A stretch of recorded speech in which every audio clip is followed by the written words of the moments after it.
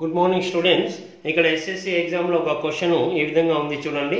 A B and C are batsmen the ratio of the runs scored by them in a certain match are given below A is to B is equal to five is to three and B is to C is equal to four is to five in all they scored five sixty four runs the number of runs scored by B is okay students question ఈ విధంగా ఉంది. ఆ క్వశ్చన్లో ఉన్న రేషియోసే రాసే చూడండి.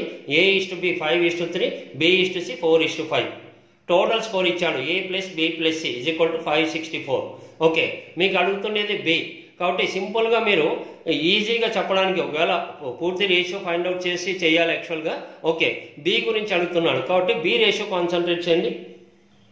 Okay students మీకు బి గురించి అడుగుతున్నాడు కాబట్టి కాన్సన్ట్రేట్ చేయండి.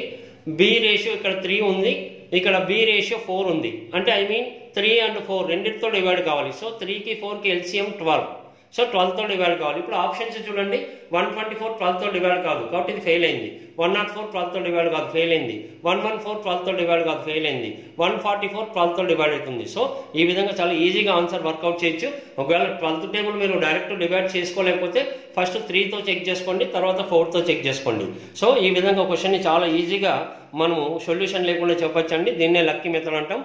మీకు ప్రొసీజర్ కావాలంటే ratio and proportion part four follow up చేయండి వీడియో. అందులో ఉంటుంది స్టూడెంట్స్. Okay thank you